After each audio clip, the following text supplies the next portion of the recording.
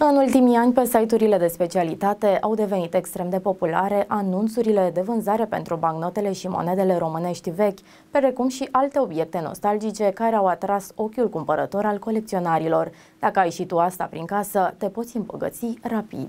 Copiii anilor 80 și 90 sigur își amintesc în detaliu obiectele pe care le strângeau bunicii în căsuța lor, de la celebrul pește care trona pe mileul de pe televizor la carpetele cu scene mitologice, bibelourile clasice, patefonul și alte obiecte care le induc astăzi o stare de melancolie. În ultimii 10 ani, pe site-urile speciale de anunțuri, românii au scos la vânzare tot felul de obiecte care în prezent valorează o avere, fiind vânate de către cei mai pretențioși dintre colecționari. Deși în zilele noastre radioul de epocă, cel cu tub, se mai poate găsi găsi în muzei și la diferite expoziții vintage, fiind considerată o adevărată piesă de colecție, unii români pot obține sume frumoase de bani dacă reușesc să-l vândă unor persoane care îi pot aprecia adevărata valoare. Pe platforma OLX, un român a scos la vânzare un Radio Capri 6401 cu tuburi de epocă, fabricat între anii 1963 și 1964. Este unul dintre radiourile cele mai prestigioase din blocul comunist, vârf de gamă al producătorului, înglobând cele mai performante soluții ale vremii, precum intrare și etaj ambalaj audio stereo, difuzoare de înaltă calitate, fiind primul model al producătorului cu unghiuri drepte adaptat stilului de design scandinav al epocii,